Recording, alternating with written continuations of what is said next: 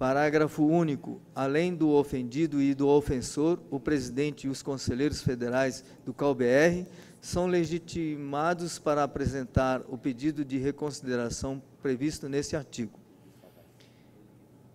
Artigo 5 A retratação pública do ofensor pelos meios de comunicação ou por outros julgados convenientes pelo conselheiro relator poderá ensejar o arquivamento da representação desde que se mostre suficiente e convincente no sentido de restabelecer a imagem do profissional que foi atingido em sua honra profissional. Destaque. Destaque, artigo 5 No quinto. Colega Gislaine. Artigo 6 A renúncia do, ao direito ou desistência do exercício do, de desagravo público, manifestada de forma expressa pelo ofendido, implica o arquivamento de eventual procedimento instaurado. Parágrafo 1 Destaque no sexto, por favor. Destaque, artigo 6 colega Gislaine. Parágrafo 1 A renúncia ao direito ou a desistência do exercício de desagravo público não impedirá que o CAL instaure ou dê continuidade a procedimentos já instaurados, quando a ofensa for dirigida também a todos os arquitetos e urbanistas. Parágrafo 2 Existindo mais de um arquiteto e urbanista postulante, a renúncia ou desistência de um deles não implica a do outro. Artigo 7 Os casos omissos serão resolvidos pelo plenário do CalBR ou do CalUF competente. Artigo 8 Esta resolução entra em vigor na data da sua publicação. Destaque no oitavo, por favor. Destaque no artigo 8 colega Gislaine. Bem, lida, a lida a deliberação. Lida a deliberação, vamos para, vamos para alguma consideração a mais ao, ao colega relator da comissão? Eu, eu, creio que é interessante, porque já foi discutido na plenária passada, né, algumas coisas foram debatidas, e, bom, os destaques vieram todos da colega Gislaine, né, mais ninguém tem destaques. Eu creio que seria interessante já tratarmos é, aquilo que não foi destacado, eu acho que já foi muito discutido, que já foi debatido anteriormente, né, aqui no plenário, e não houve destaque nenhum, e a comissão permanece com o texto original. Então, eu proponho que a gente encaminhe, assim, digamos, a discussão dos destaques, né? e aí, conforme seja, a gente altera a resolução, aprimora, não é? E põe em votação. É Vamos fazer assim, é, por a discussão, colega Janot, a colega Gislaine, alguém mais? Por enquanto, colega Janot. É, a minha consideração não se remete exclusivamente a pontos do dessa resolução, mas a resolução como um todo. É, me preocupa muito. Eu recebi essa comunicação em agosto, um ofício pedindo para dar opinião, emiti uma opinião, não tive nenhuma resposta a respeito dessa opinião, apesar de que minha opinião já era, por natureza, contrária, contrária a esse tipo de coisa. Eu acho que a, eu acho que essa resolução, além de ser um engessamento da presidência, ela está, juridicamente, ela não se sustenta, no meu modo de ver. Eu acho que ela cria uma espécie, na, na, com o objetivo de tentar defender um, o profissional, ela acaba criando um, um, tribunal de exceção. Eu acho que amplia. Eu estou fazendo uma declaração de voto contrária e que alertando os conselheiros para onde está levando isso. Pô. Quando se fala aqui, considerando que é uma ofensa ao profissional, o que é uma ofensa a um profissional? Que tipo de ofensa é essa? Quem que tem que dirimir essa ofensa? Na verdade, se um profissional está ofendido, ele vai processar o sujeito na justiça. Por um leigo que fez uma crítica, ele vai à justiça e vai ter um tribunal, isso vai render. Agora, nada impede que esse profissional solicite ao CAL que se manifeste. E o CAL, a meu ver, através do seu presidente, pelas medidas que lhe são é, próprias, ele pode se manifestar, pode ouvir o conselho, pode fazer o que ele bem entender. Agora, para isso, não tem que ter uma resolução, é mais uma burocracia, é mais um, sabe? E além do mais, está cheio de coisa. Finalidade de promover a reparação, ou é para promover ou não é. E, e por aí adiante. Eu acho, eu estou declarando meu voto contra e acho perniciosa essa, essa resolução. Acho que ela é comprometedora e não fica bem para o CAL colocar isso. Essa é a minha posição que eu estou submetendo a vocês. Muito obrigado. Bom, como de, como de costume, eu vou encaminhar aqui por ordem de inscrição e, naturalmente, o colega Napoleão, por ser o relator da matéria, terá condição de se manifestar após isso. Podemos ouvir a colega Gislane? Então tá. Pela ordem, o, pela ordem, o colega Napoleão como relator da matéria. É, eu preciso falar em nome da comissão, porque o que o colega Janot coloca, ele fala em tribunal de sessão, ele fala em burocratismo, ele fala que essa proposta é uma proposta é, inconveniente, no mínimo, pelo que eu entendi. Até se fosse eu para falar, poderia até usar um termo exagerado chamar de indecorosa. Bom, essa proposta não foi apresentada pela primeira vez aqui. Foi estabelecido todo o histórico do que aconteceu dentro do dia a dia dos conselhos, que gerou esse debate entre as comissões de ética. Essa proposta veio ao plenário na plenária passada e foi explicado por que seus objetivos e o plenário assim entendeu. Não se trata de criar nada de exceção, nem muito menos diminuir as prerrogativas de um presidente de conselho que também não, são, não podem ser é, imperiais, como nós sabemos. E nenhum presidente quer isso. E a proposta partiu de presidente de conselho. Por sinal, a colega presidente do Conselho, Rio Norte, além de arquiteta, também é advogada e muito competente. Né? Este mesmo tipo de instrumento existe em outros conselhos. Nós pesquisamos, sim, e apresentamos aqui. O exemplo mais evidente desse tipo de, instrumento é, o, é a Ordem dos Advogados do Brasil. Né? Existe realmente é, a ofensa ao, ao profissional, ao, a um profissional no exercício da profissão. Existe a ofensa a um arquiteto que é fiscal do conselho, muitas vezes, por pessoas que se arvoram a partir mesmo de uma posição, de um, de um, cargo, de um cargo de importância pública, né, a falar certas coisas que não se deve falar, e o conselho tem que sim defender a profissão. Então é nesse sentido. É nesse sentido que a proposta foi colocada. Né? É, é, a manifestação de voto é, do conselheiro também, de certa forma, me, me altera o ânimo, porque ela é prévia, antes de um próprio debate que pode ser colocado aqui. Quer dizer, então é o seguinte, essa, essa, essa, essa proposta é indiscutível. Essa proposta é inaceitável. Né? Bom, então, conselheiro, quer dizer que todos nós aqui trabalhamos seis meses numa discussão como essa e outros conselhos estaduais, numa coisa completamente absurda. Né? Eu não consigo ver desse jeito. Eu, sinceramente, com toda a minha incapacidade de compreender as coisas, não consigo ver isso dessa maneira de achar que estamos criando qualquer modelo de exceção aqui no Conselho. E a nossa assessoria jurídica também não viu assim. Estão aqui os dois assessores jurídicos nossos aqui presentes e não viram isso como uma arbitrariedade, nem uma forma ilegal proposta por essa comissão. Então, um argumento de que existe uma ilegalidade, que existe uma, uma corrupção, digamos assim, de valores né, democráticos e constitucionais, para mim choca, entendeu? E eu não consigo entender por que é, essa, essa, essa, essa, essa insistência, porque o conselheiro já falou isso na reunião passada, da plenária, na plenária passada, e eu entendi que tinha esclarecido. Né? Então, eu quero manifestar que eu não concordo com isso e referendo que o trabalho que foi feito foi legítimo né, e foi um esforço coletivo e não foi à toa, porque temos situações concretas né, de, de humilhações que colegas recebem no exercício da atividade profissional. Não se trata de defender, digamos assim, a honra em geral, porque de fato aí você vai à justiça, vai à denúncia do, no Código Penal sobre injúria, difamação, calúnia. Não se trata disso. Se trata de defender a imagem da profissão, em qualquer circunstância. É isso. Obrigado, colega Napoleão.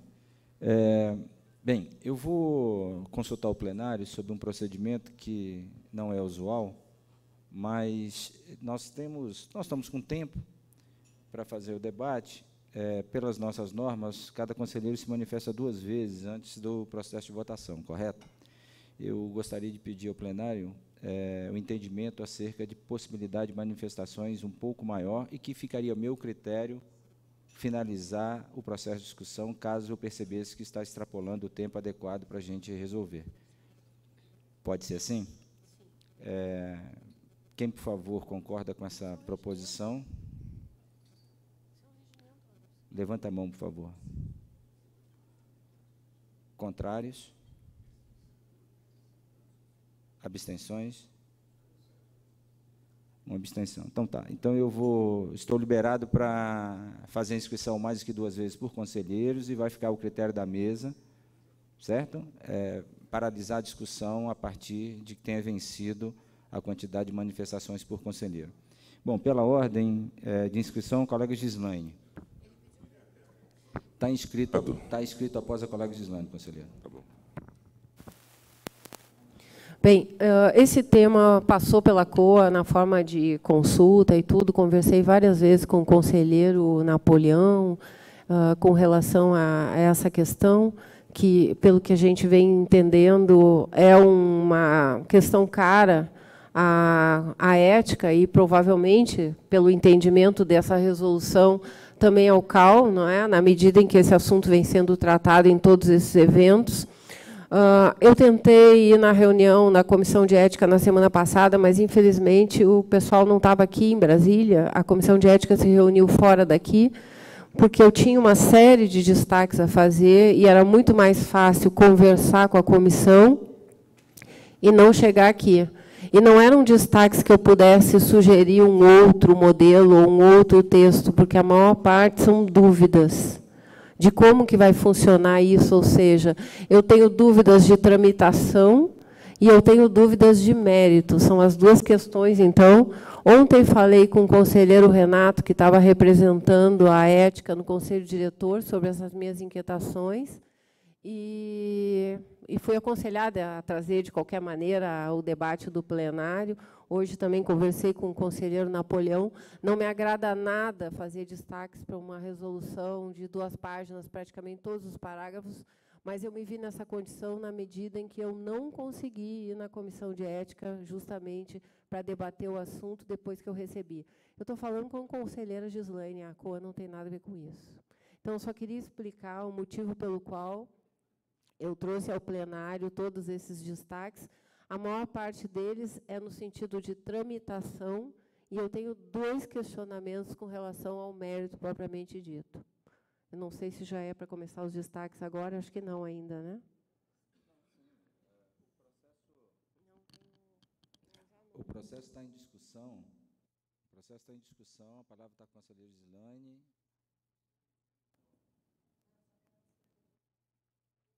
Quer se inscrever?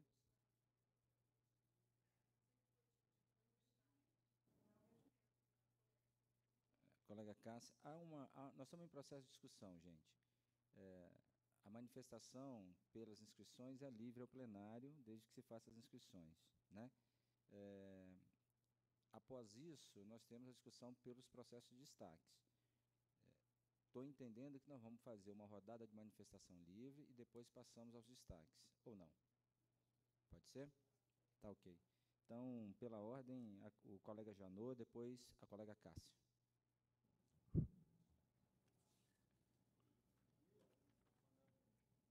São duas questões. Uma é que eu entendo que, enquanto uma resolução não foi aprovada, qualquer conselheiro tem o direito de se manifestar a respeito dela. Essa resolução deverá ser ou não aprovada hoje. Então, se ela foi uma minuta aprovada ou discutida, seja lá o que for em reunião passada, não impede que cada um se manifeste. Então, enquanto isso existir, eu me julgo no direito de manifestar e vou continuar me manifestando. Segundo, segundo com relação a, a nós fomos consultados, os conselheiros foram de fato consultados. E eu fiz um ofício nos prazos estabelecidos, apresentando sugestões. Sou, minhas sugestões não são obrigadas a serem aceitas, mas não se mudou uma vírgula daquilo que foi apresentado onde teve as sugestões. Então, eu acho que é uma questão mínima, mínima, até de gentileza, se comentar, se justificar, se fazer, mas tudo bem. A pessoa pode não aprovar em toto. Agora, por último, é porque eu continuo insistindo nessa tecla. Quando a gente usa uma palavra ofensa ao profissional no exercício das suas atividades, isso é muito abrangente. Eu não sei, conselheiros, se vocês pensaram num aspecto grave que é a crítica de arquitetura, que é algo que está acontecendo, não é de hoje, acontece há muito tempo. A crítica é uma coisa saudável para a produção da arquitetura. Um documento desse amanhã pode servir para que algum colega, mesmo colega nosso, não é nem um jornalista de fora, faça uma crítica ao trabalho do, do Claudemir lá em Manaus, e o Claudemir se sinta ofendido, e, e, sabe, é nesse sentido que eu quero dizer que nós estamos criando uma, algo que pode impedir a manifestação livre de quem quiser a respeito da arquitetura. Ofensa é outra coisa. Se me ofender, se alguém me ofender profissional ou pessoalmente, pessoa física, eu vou recorrer. Nós estamos num regime democrático, eu vou recorrer a quem de direito para processar esse indivíduo. Então, o que eu quero simplesmente é dizer, eu não sou contra o que está aqui, o que sou contra é ter uma resolução para isso porque só serve e tem uma tramitação burocrática enorme. Até o presidente se manifestar, vai ter que passar por diversas instâncias até a aprovação do plenário. Essa altura já se esvaziou até a coisa.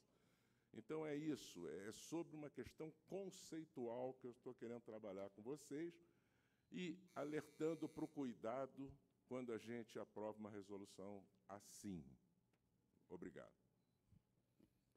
Ok. Antes de passar a palavra para o colega Cássio, eu gostaria só de esclarecer o procedimento pela fala do colega Janot. É, quando a resolução roda para conhecimento e para contribuições, as contribuições devem ser levadas à comissão. A comissão acata ou não. Não necessariamente a comissão precisa responder aos colegas que contribuem efetivamente com, com esse assunto. Porém, Caso a contribuição seja do colega conselheiro, e é isso que o difere de um arquiteto comum ou de membro da sociedade, ele poderá sim fazê-lo sua manifestação acerca da contribuição que ele enviou à comissão. Porém, a comissão não é obrigada a responder todas as contribuições que são feitas. Poderá ela acatar ou não, apesar da manifestação do conselheiro ser livre em plenário. Por favor, colega Cássia. É, eu, sinceramente, me estranha, viu, meu querido professor Janot, é, esse seu documento não chegou à comissão. Então, eu gostaria de saber para onde foi encaminhado e por que esse documento, que o senhor aí diz, não chegou à nossa comissão. Só um pouquinho. Porque se assim tivesse chegado, que nem disse o presidente, o, em exercício, se assim tivesse chegado, é, certamente a gente teria lido e discutido. Mesmo a gente não estando na reunião passada em Brasília, inclusive isso foi colocado na plenária passada, né, colega Gislaine, você já tinha conhecimento que essa reunião da sede aconteceria em Cuiabá, né, que o nosso coordenador colocou na plenária passada, é, em Cuiabá a gente é, fez a reunião da comissão. Então, todos os questionamentos que tivessem chegado até a comissão, certamente seriam matéria de discussão em Cuiabá. É, daí também, conselheiro, é, então eu gostaria depois que o professor me falasse para quem foi e por que eu gostaria aí que a Daniela alguém que pudesse me informar por que esse documento não chegou até a comissão. Porque é grave quando chegamos aqui no plenário e a gente diz o seguinte, ah, porque eu foi na, na comissão, a comissão não, não, não leu, não me respondeu, né, mesmo podendo não responder, né, como foi bem falado pelo nosso presidente, mesmo podendo não. Agora, é pior ainda quando esta comissão desconhece o documento aqui falado. Com relação ao que a colega Gislaine falou, eu não entendo também, pelo motivo da comissão não estar em Brasília, desses apontamentos que você coloca aí não ter chegado também. Logicamente que conversando é muito melhor, né? Logicamente. Mas eu acredito que você também deveria ter encaminhado para a gente, até para que a gente pudesse discutir na reunião de Cuiabá, e hoje a gente já teria mais conhecimento das suas dúvidas, que certamente a gente poderia ter respondido. Logicamente que não seria como uma boa conversa, mas talvez pudesse já ter clareado as suas dúvidas até o ponto de não chegar numa reunião como esta e eu ter destaque praticamente na, na, na proposta toda. Né? É, eu até fiquei aqui observando, talvez a colega pudesse ter pedido destaque na própria resolução inteira, porque os artigos que ficaram fora são bem poucos, né? né? Então fica aí a minha, meu, assim, meu, sinceramente, assim, minha estranheza diante desses fatos. Não, mas escrever, deixa eu ver pela ordem. Não, deixa eu ir pela ordem. Eu dou para o senhor responder para mim para onde foi esse ofício, que até agora eu quero saber onde ele está, porque até agora a comissão não tem. Colega Janot, eu, eu lhe inscrevo novamente pela ordem, colega Manel.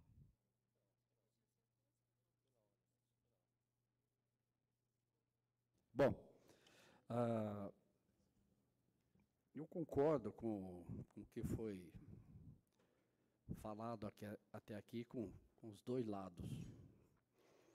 Eu acredito que uh, a minha preocupação mais sobre essa, essa criação dessa resolução é que se nós não estaríamos criando uma, uma oportunidade de, de se ter, é, como se diz, trabalhos jurídicos com relação a uma defesa que o profissional faça ou o CAL faça desse profissional, não tiver um embasamento jurídico muito bem feito, reverter contra o CAL e o CAL ser indenizado a começar a pagar é, danos morais, enfim, algum outro tipo de, de, de sanção né, que nós podemos ter e, e isso começar a, a ser uma rotina. Né? Então, ou uma, ou nós né, é, realmente podemos, apesar de termos aí excelentes profissionais, a minha preocupação, como acontecia muito no CREA, né, no caso de denúncias de profissionais que, que, que tinham excedido o limite de, de, de, de ART, de, de, enfim, é, e, o, e o CREA acostumava, já era praxe, começar a pagar indeniza, indenizações. A minha preocupação é essa, né? Que, mas, de um lado, eu, eu compartilho um pouco com o Janot, que é o seguinte, se o cara foi ofendido, tem a justiça para se para se valer da justiça e, e, e se faça aí. Eu, eu, eu, acho assim, ter atenção, temos essa oportunidade de conversar, para que a gente não, não, não traga mais um problema para que o CAL tenha que resolver. Essa preocupação. Se tiver tudo certo, tiver tudo organizado, não veja problema de instituir a resolução 110, né, que já é muita, porque nós temos aí. Mas é só isso. Obrigado. Obrigado, colega Manel. Pela ordem, o colega Janot. Pela ordem, o colega Janot. Olha, era só para te informar, Cátia, que eu, infelizmente, não trouxe. O ofício que eu recebi é um ofício protocolado, ofício circular, da presidência do dia 9 de agosto, e eu respondi para a presidência no dia 6 de setembro, localizei aqui. No dia 6 de setembro eu localizei. Na verdade, eu não dentro do prazo, ele, ele falou, é, essa foi só para te explicar. No dia 6 de setembro eu mandei ele, eu, o, o ofício foi um ofício mandado, no protocolado direitinho, mas era algo que dizia mais ou menos o que eu disse aqui, em poucas, alertando o que eu alertei aqui, não era muito diferente disso. Tá? Não deve ter ido. Tá, obrigado.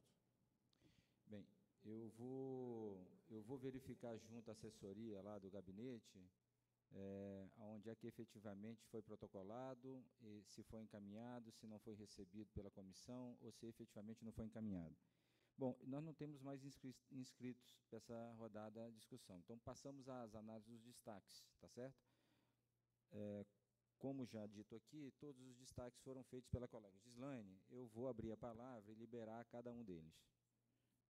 Por favor, colega Gislaine, o primeiro destaque nos dois primeiros considerandos. Uh, eu, antes de seguir nos destaques, eu preciso dizer para a conselheira Cássia que eu realmente me sinto absolutamente constrangida ainda que esteja no direito de conselheiro estar aqui debatendo, não é? Da gente levantar todos esses pontos. Comuniquei isso ao Renato ontem, comuniquei hoje ao Napoleão. Não acho que seja um procedimento confortável, sinceramente. O que não pode é deixar passar batido. E pelo, e pelo agora pelos destaques e a discussão, os colegas vão entender por que, que não tinha como uh, fazer de outra maneira que não fosse conversando com a comissão. Um detalhe importante, eu podia até pedir vista desse, dessa resolução. Por que não? Porque é um tema eminentemente tratado pela ética. Eu não me sinto competente para puxar uma resolução dessas para mim, que é um debate, uma discussão da própria ética, e tentar elaborar algo em cima disso. Eu não tenho conhecimento suficiente da matéria mas eu tenho muitas dúvidas do trâmite e algumas do mérito. E esse é o motivo pelo qual eu trago essa discussão. Qual é o primeiro destaque? É o considerando? Bem, considerando, eu vou ler então. Considerando que a ofensa ao profissional no exercício de suas atividades atinge a credibilidade pública da arquitetura e urbanismo. Isso é uma afirmação que é feita num considerando.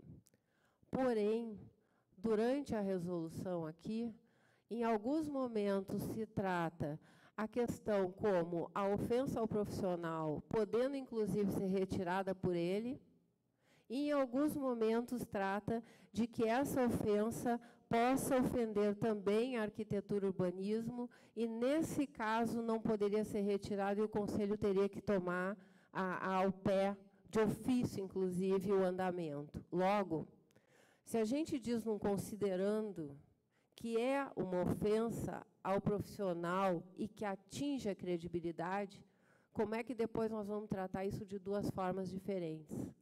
Se nós já estamos afirmando que é num considerando. Vejam que depois, ao longo agora, a gente vai poder explanar na forma como isso é tratado de maneira diferente a seguir. O segundo considerando. Considerando que o desagravo público tem a finalidade de promover a reparação moral do arquiteto urbanista ofendido no exercício da, da, da profissão. É, se encaixa no mesmo que eu comentei há pouco. Mas eu teria agora os meus três questionamentos de mérito, fora aqueles que eu já destaquei, que são de trâmite. O primeiro, aí, uh, conselheiro Napoleão, se puder me ajudar, tá? são dúvidas. A gente está falando aqui é de um profissional ofendido. Aí, assim, o desagravo ele se encerra dentro do conselho, no caso, quando alguém reclama de uma ofensa só no nível do desagravo propriamente dito. O conselho não teria que, eventualmente, promover um outro tipo de denúncia, etc., em função de uma ofensa que alguma pessoa tivesse ofendida e tivesse manifestado ao conselho? Essa é a minha primeira dúvida. A segunda, essa ofensa não está clara se ela for feita por um arquiteto urbanista. Se ela for feita por um arquiteto urbanista, qual é o tratamento dado? O desagravo é feito da mesma maneira? Ou ele eventualmente estaria submetido ao código de ética ou coisa do gênero. E terceiro, além do ofensor poder ser um arquiteto urbanista, também, além do ofendido, não pode ser um conselheiro também o ofensor? Ou seja, se o conselheiro ofende, como ele vai ser tratado pelo conselho? Essas três questões, para mim, são de fundo ou de base, conforme a gente possa entender, e não, não estão esclarecidas, ao meu ver, dentro dessa resolução, no sentido de que nos levam a refletir sempre, a gente fala do ofendido, que é um profissional, ou até um empregado do conselho, mas a gente não fala no ofensor, em momento algum. E esse ofensor pode ser um arquiteto, pode ser um conselheiro e pode ser um leigo. Nós vamos tratar todo mundo da mesma maneira? Então, essas questões, para mim, estão em aberto. E esses eram os motivos pelos quais eu gostaria muito de ter conversado com a comissão e não tive oportunidade. Além disso, tem as questões de trâmite, que aí a gente pode ir adiante. Sim.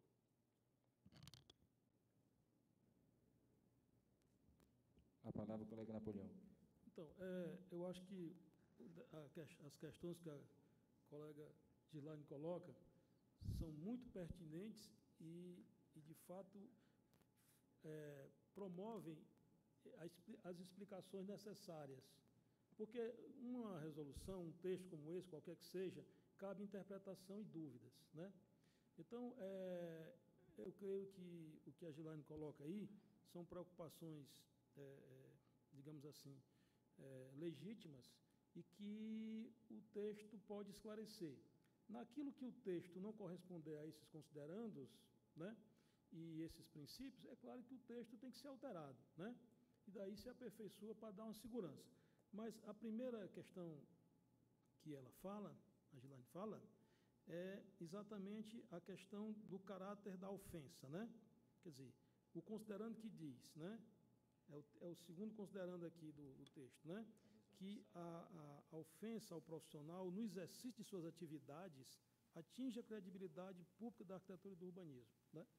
Bom, é, esse considerando estabelece o quê? Que isso é genérico, que qualquer ofensa a um profissional, seja que profissional, seja ele um, um conselheiro, seja ele um empregado público do conselho, um, um assessor do conselho, ou mesmo não é, um, um, um arquiteto registrado, é, né? esta ofensa a esse profissional no exercício de suas atividades, esta ofensa e ofensa, a palavra ofensa, ela tem um caráter de definição jurídica também, né? Então, aqui, quando se fala aqui em ofensa, dizer, não é uma, uma não, é um substantivo que se fala aqui. Não é nada assim é, metafórico. Uma ofensa é no sentido daquilo que é considerado legalmente né, uma atitude ilícita em relação a uma declaração a uma pessoa, né? Isso é uma ofensa. Então, ofensa está previsto lá, é, os nossos assessores jurídicos podem até falar é, como é que se caracteriza a ofensa do ponto de vista jurídico. Né? Bom, então veja bem, qualquer um que for atingido dessa maneira, considera-se que, isso é uma, que isso atinge a credibilidade da profissão.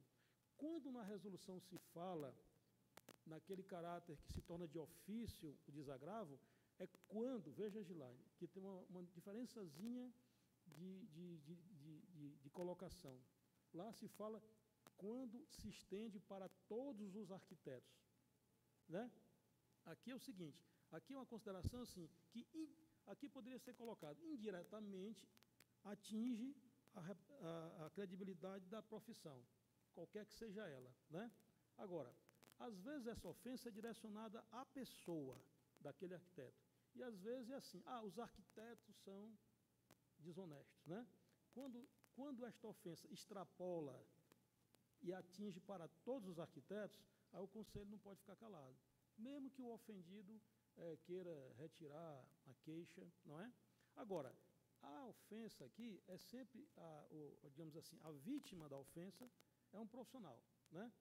Agora, o ofensor seja quem for. Agora, no caso desse ofensor ser um arquiteto, né, que esteja registrado no Conselho, além do desagravo, ele sofrerá um processo, né, um, processo a partir do Código de Ética. Aí nós temos o Código de Ética também, seja ele conselheiro, seja ele é, assessor, seja ele um arquiteto, quem quer que seja. Está entendendo, Gilaine? Está me ouvindo? Você está ouvindo o que eu estou falando? Então, assim, nesse caso, quer dizer, além do desagravo, há também o processo ético, naturalmente, né, que, já, que já existe até. Né? Então, de fato, o desagravo é, um, é, um, é, uma, é uma prerrogativa do Conselho é, em termos de proteger a credibilidade da profissão em qualquer, em qualquer situação em que ela for atingida através de ofensa. Agora, fechando mais esse raciocínio. Quando a gente fala mais na frente no artigo, fala quando é para todos os arquitetos. Né? Então, se não foi para todos os arquitetos, o considerando entende que indiretamente também atingiu a credibilidade da profissão. Né? Indiretamente atingiu. Porque ele foi, ele foi, ele foi atingido, aquele profissional que foi, que foi agravado, na honra profissional. Não foi? Tanto é que mais na frente se fala é, questões que não são vinculadas, digamos assim, ao cunho profissional da ofensa, não se trata de matéria para desagravo do Conselho. O Conselho tem que tratar da profissão, ele não pode extrapolar e se tornar uma corporação de ofício que vai defender qualquer, em qualquer situação. As outras ofensas, e esta também, e esta também, cabe o processo judicial do quem, quem, quem queira se queixar. Pode ir à justiça, porque a ofensa né, pode ser uma injúria, uma calúnia, uma difamação, né, que são crimes previstos no Código Penal. Né?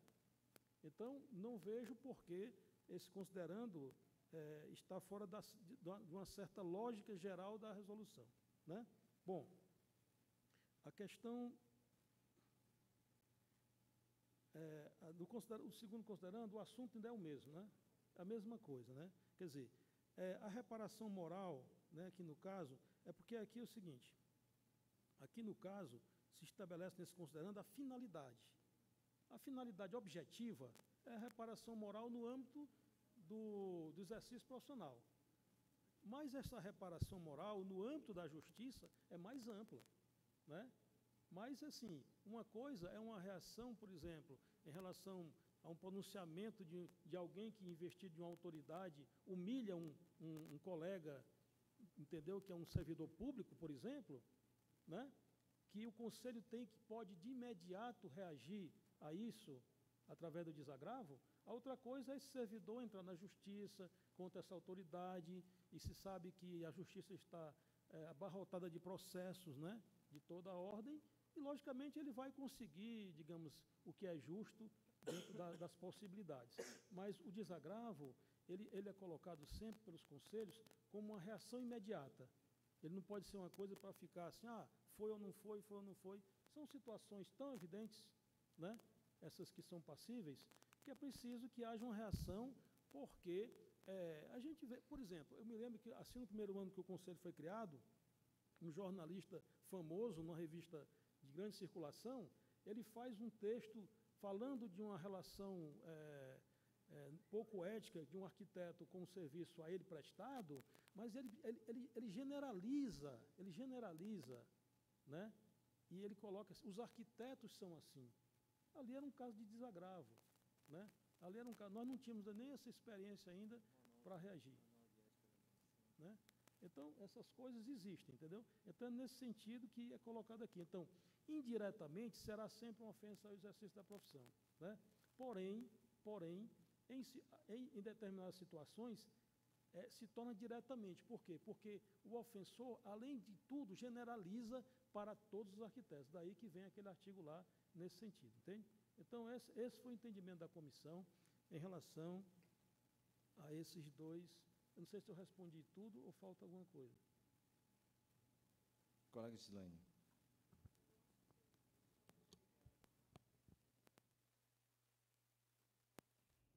É, veja só, eu estou tentando estabelecer um rito aqui na discussão. Nós tivemos uma rodada de discussão livre e agora nós estamos é, para a discussão dos considerandos é, efetivamente, né? Dos, do, dos, desconsiderando, não, desculpa, dos destaques aí é, feito.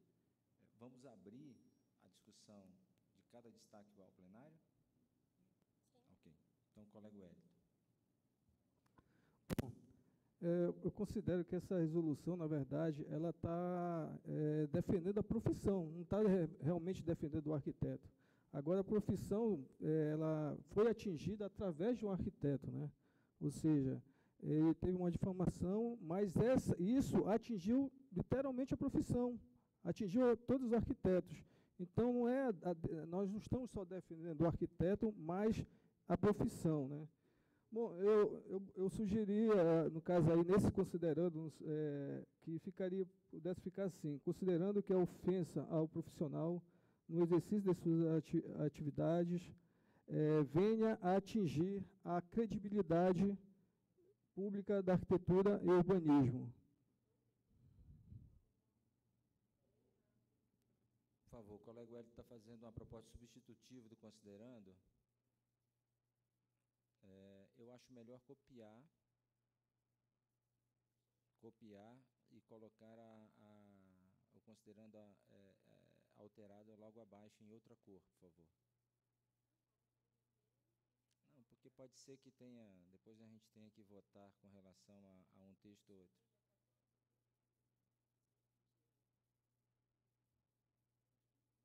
Bota em vermelho, por favor, então.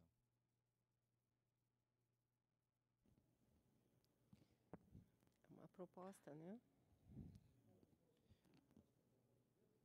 Vamos, vamos, vamos, nós estamos em processo de discussão, desconsiderando. É, alguém, alguém mais quer se manifestar?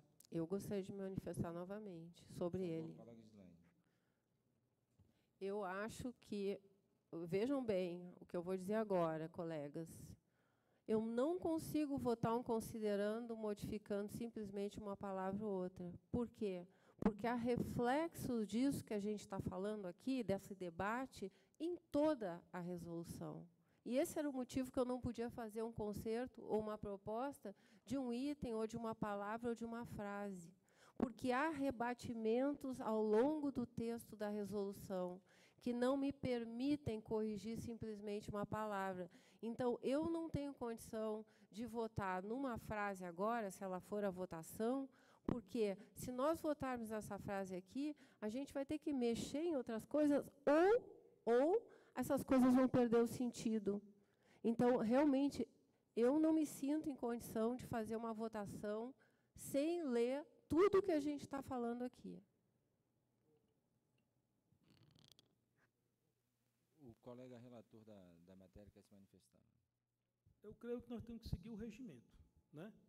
O regimento estabelece a votação dos destaques, que precede a, a, ao texto original, e muitas e muitas vezes aqui houve, para cada emenda, houve inclusive a consulta à, à relatoria e à comissão, se acata a mudança, e a mudança estabelece, porque nós vamos ter que votar um texto final, seja ele emendado ou não, aprovado ou não dos destaques. Os destaques que foram destacados, eles foram destacados para debate e para apresentação de alternativas.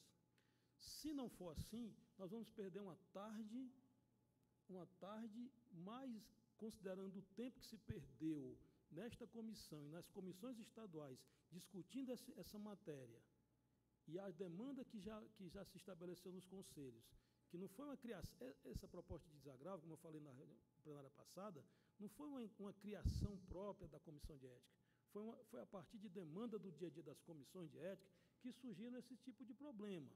Não é? Então, foi a partir daí que se foi formulando, foi se buscar em outros conselhos. Nós não estamos inventando a roda, nem descobrindo a pólvora. Agora, se nós não seguimos o regimento para tratarmos os destaques e vendo os substitutivos, para votarmos a matéria, a ideia é que se não vote hoje, então que se não queira votar hoje, que se peça vistas e que se leve e que se traga uma alternativa. Porque eu acho que nós não podemos perder uma tarde inteira para não votarmos nada, e esse assunto já está demorando mais de há meses que esse assunto se desenvolve em reuniões. A última reunião da comissão de ética, que foi que aconteceu na sede do CAL Mato Grosso, além das questões que surgiram lá, que nos levaram até lá, convite do presidente Wellington, do Wilson, é, levou também a esse debate durante pelo menos umas duas horas a mais. Tudo que foi proposto foi considerado. Infelizmente, o, o ofício do colega Janot não chegou até nós. Se tivesse chegado, essas colocações que ele fez aí, que deve estar muito mais fundamentada no ofício a respeito da, da arquitetura, seriam consideradas.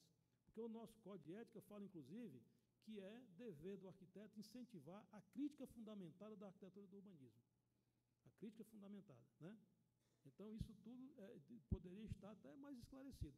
Agora, se, se é para pedir vistas, que se peça vistas. Se não, tem que se discutir os destaques, apresentar propostas alternativas e se colocar em votação. É isso que eu estou colocando.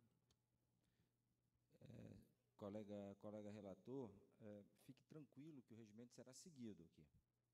Absolutamente. É, nós estamos num processo de discussão do primeiro considerando, há uma proposição de substitutivo de alteração do primeiro considerando, a palavra está com o plenário de inscrições para ver se há uma segunda proposta ou não.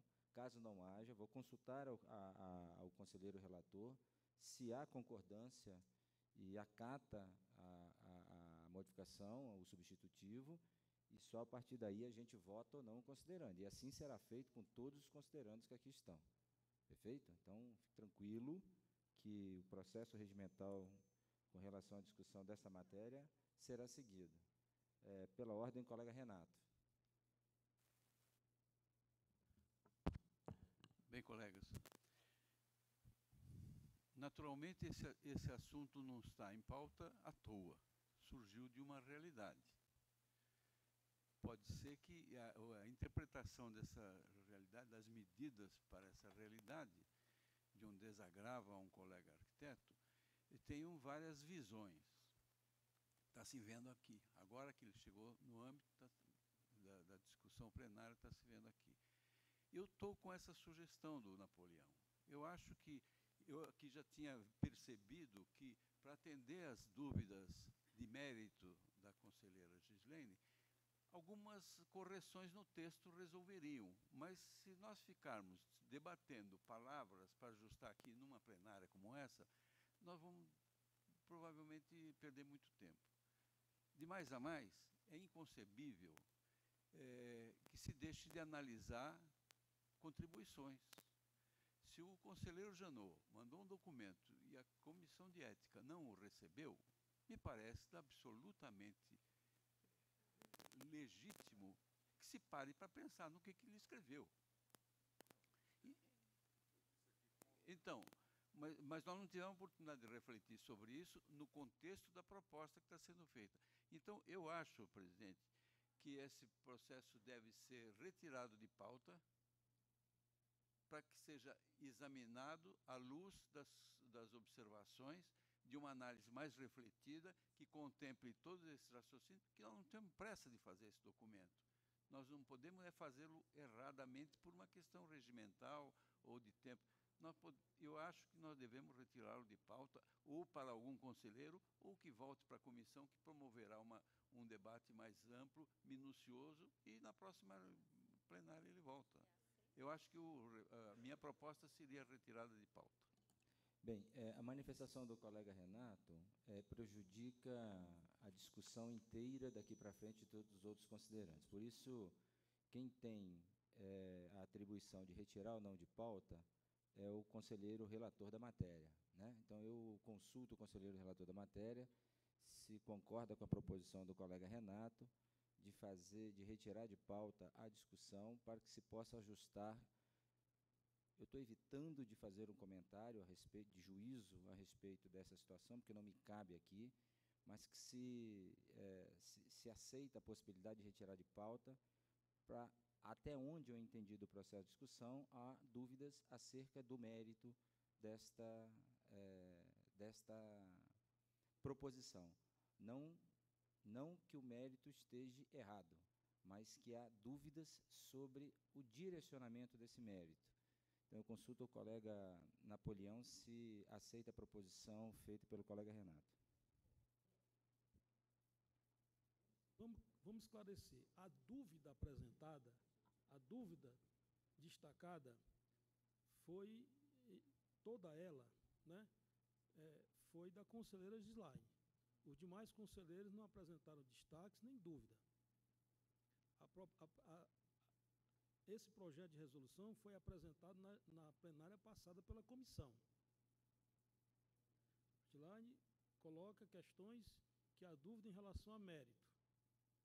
Quer dizer, o que ela apresentou em relação aos considerandos, eu coloquei o ponto de vista que foi desenvolvido, discutido entre assessores e conselheiros na comissão, particularmente com a assessoria jurídica deste conselho. Esta matéria passou pela nossa assessoria jurídica. Não é? Então, nós temos a plena segurança de que seguimos o trâmite e a discussão dentro do grau de profundidade que nós temos. Nós não poderemos fazer ou refazer isso aqui além do que já fizemos. Então, a única maneira disso ser obstruído de discussão e votação nessa plenária é através de um pedido de vistas. Mas eu não vejo sentido a comissão se debruçar mais e mais ainda sobre essa matéria, mesmo porque a comissão tem outras pautas que são até, digamos assim, emergenciais a encaminhar. Nós temos uma pauta longa na nossa próxima reunião, temos inclusive uma reunião extraordinária com o nosso consultor, colega João Honório, a respeito do Código de Ética comentado, que é um, o código todo está comentado, proposto pelo colega, e ele propôs reunir com a comissão, ele que propôs isso, ele tem a liberdade de fazer o comentário, mas ele quis discutir com a comissão, e nós nos comprometemos. Então, nós não temos mais condições, quer dizer, eu, eu pondero aos colegas da comissão de colocar isso na pauta. Cumprimos todas as etapas necessárias, começamos discutindo com os estaduais, com as comissões estaduais, trouxemos ao plenário, houve uma série de desencontros, como foi colocado é, a partir da, da, da, afirmação do colega Janot a respeito de que não ter chegado na comissão o ofício que ele encaminhou, né?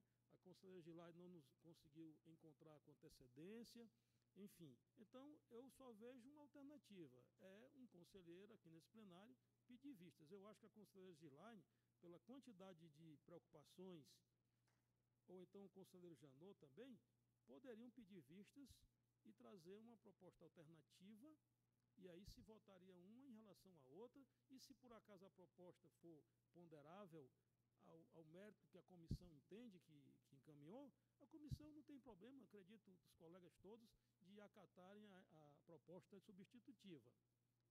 Acho que seria o caminho que, para mim, parece mais regimental. É isso. Bem, pela fala do colega Napoleão, eu estou entendendo que não há concordância com a proposta do colega Renato na solicitação, na, na proposta feita pelo colega Renato de se retirar de pauta o assunto. Bom, de fato, só para é, organizar o rito dessa discussão, de fato, esta, este assunto, esta resolução, passou por todos os trâmites legais que estabelece a nossa resolução, a nosso normativo, né? Rodou em consulta aos estados, foi lida na plenária anterior, seguiu todos os ritos estabelecidos. Ocorre que, aí eu queria fazer uma correção no entendimento do colega Napoleão, dois conselheiros se manifestaram contrário ao mérito, foi por isso que eu ponderei a questão do mérito. Né? Isto, aliado à proposta do colega Renato de se retirar de pauta para que se possa, então, a comissão, com a ajuda dos dois conselheiros, se for o caso, discutir o mérito, seria uma saída. É, nós temos, regimentalmente, três proposições para o encaminhamento dessa discussão. Pode ser retirado de pauta pelo colega é, relator, pode ser pedido vistas por algum conselheiro que não concorde com é, que está sendo apresentado a respeito da matéria, e aqui eu faço um parêntese, a vistas a, este, a, a um determinado assunto, ela não precisa fazer adendo ou concordar com o inteiro teor da resolução, ela pode simplesmente fazer uma vista, fazer uma análise inteira e dizendo que não concorda com o teor geral da, da, da, proposição, porque o mérito é assim, assim, assado, e, obviamente, vai ser colocado em votação um contra o outro. Então, o pedido de vistas, ele não necessariamente precisa ser um, um, um relato de reformulação de um determinado assunto. Pode ser a negação completa do assunto também, é porque efetivamente não é usual. E a terceira posição de encaminhamento para esse assunto, obviamente, é o processo de votação. Para isso, a gente precisa finalizar todo o processo de discussão dos destaques aqui estabelecidos, que terá dois caminhos. Ou vota sim pela resolução, ou vota não pela resolução, onde acabaria efetivamente o assunto é, é, no Conselho, até que outra comissão ou a mesma comissão traga novamente isso. Então, seguindo a nossa proposição, rejeitada a, a, a proposta do, do colega Renato pelo conselheiro relator, pois não cabe análise de conselheiro algum, somente do colega coordenador eh, da comissão e relator da matéria. Peço à colega Gislaine que faça, não havendo mais inscritos, que faça a continuidade da, do seu, da análise dos seus destaques. Colegas, que eu não pedi a retirada da. Oi. Eu estou aqui para discutir os termos da mesma, ainda que eu tenha críticas de mérito, já coloquei. Eu estou aqui discutindo o texto. Bem, a, o outro, eu já falei sobre as questões de mérito. Eu acho que elas vão voltar, mas as minhas inquietações com relação ao mérito eu já coloquei. Eu agora vou para as questões de trâmite, lendo os outros parágrafos dessa proposta de resolução. Então, eu tinha pedido no segundo, não? Sim. Está ali. A representação, depois de protocolada, será encaminhada ao presidente do CAL-BR ou do F para ser encaminhada ao respectivo plenário para conhecimento, o qual designará um, conselho, um conselheiro relator para conduzir o processo. Os processos no CAL, quando chegam em plenário, eles são distribuídos pelo presidente e não pelo plenário aqui um equívoco, porque aqui diz que o presidente recebe leva ao plenário e o plenário distribui. Nós não temos o caso do plenário distribuir processos, mas de conselheiro, presidente no plenário designar relator de processo. Essa é fácil de corrigir. Eu não. Não, ali diz que fala propor ao plenário. Desculpa, eu estou na segunda, né? para ser encaminhada ao respectivo plenário para conhecimento, não é para conhecimento, é para apreciação e deliberação, o qual, por solicitação do presidente, não é? Que designará conselheiro relator para conduzir o processo.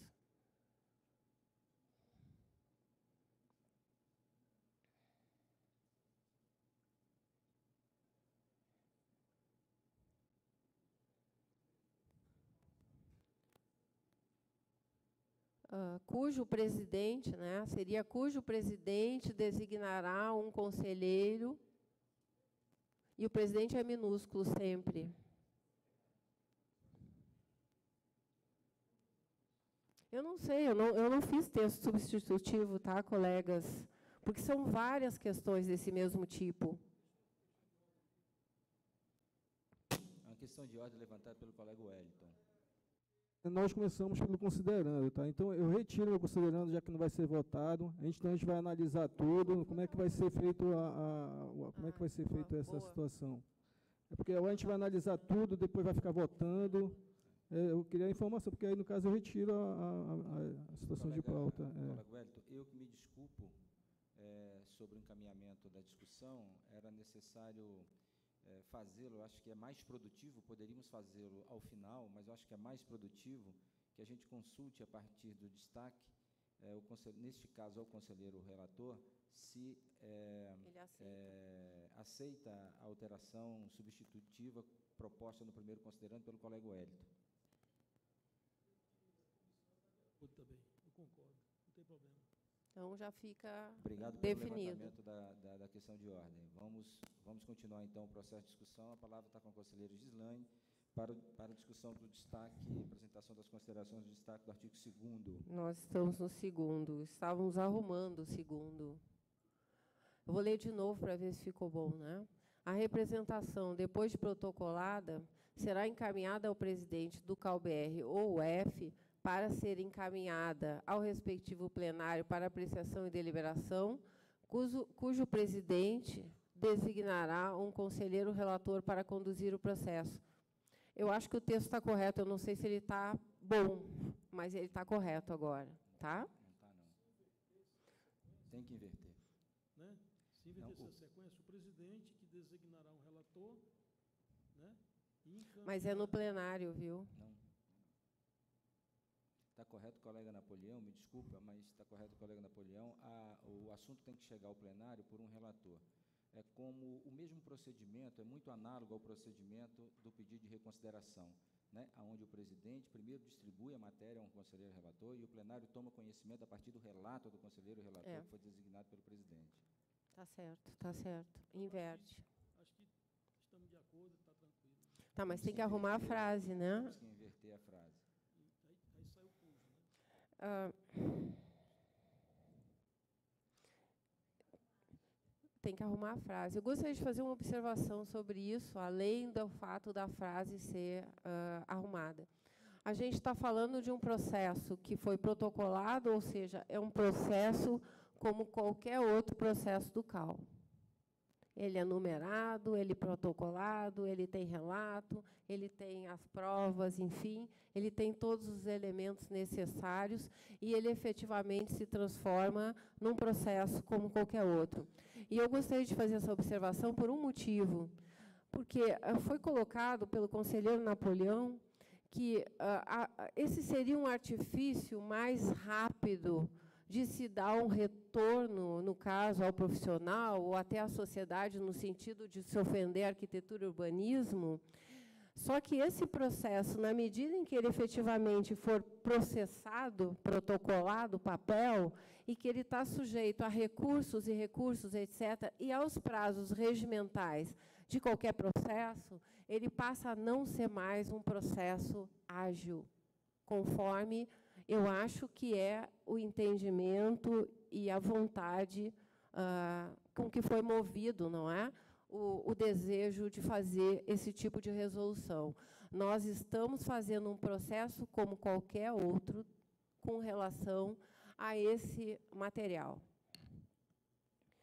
Bem, podemos passar para o próximo. Não sei cadê o meu presidente aqui.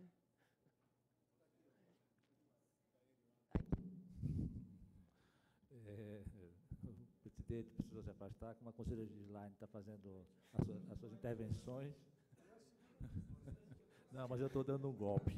Não, aí está dando um golpe aqui. tá Não vou ter como fazer tudo ao mesmo tempo, né? Não, ela não pode fazer duas coisas ao mesmo tempo, né? Tá? Então, não vou fazer muita coisa, é só encaminhar as palavras. Então, assim, é, só para é, confirmar, a- o relator concorda com o texto, podemos passar para o outro ponto? Do artigo 2 como está? Depois Sim, de ter... é, a sequência de? Bom, É. eu, é, eu acho que bom, a- ideia, a ideia justamente é seguir o regimento. Não tem como a gente fazer uma coisa é, de forma extraordinária. Se fosse extraordinário, não estaria é, uma- Seguiu o ter- o regimento. Aí seria uma decisão de referendo, numa situação de emergência, um caso, sei lá, que isso pode acontecer. Mas, infelizmente, existe um tempo, por mais urgente que se queira, não tem jeito. Tem que seguir. A plenária pode ser uma plenária ordinária ou pode ser uma extraordinária. Né? Aí são as circunstâncias de cada, de cada situação. Né? Em alguns estados, é, reunir um plenário de cinco membros é até mais ágil. Né? Em outros estados, 60 pessoas é, fica mais complicado. Mas é o que se pode, né? Isso pode fugir. Então, eu concordo com a alteração, eu acho que a comissão também restabelece a ordem regimental, né? Que, que Mas então a intenção efetivamente é essa, é um processo como qualquer outro. Esse é o entendimento. É, porque nós entendemos assim, por mais que a situação seja às vezes urgente, não se pode estabelecer uma forma de exceção, né? Uma forma de exceção, é, eu não sei nem se o plenário poderia deliberar, né? Seria assim, contradizendo a própria lei estabelecer um regimento e nós temos um regimento.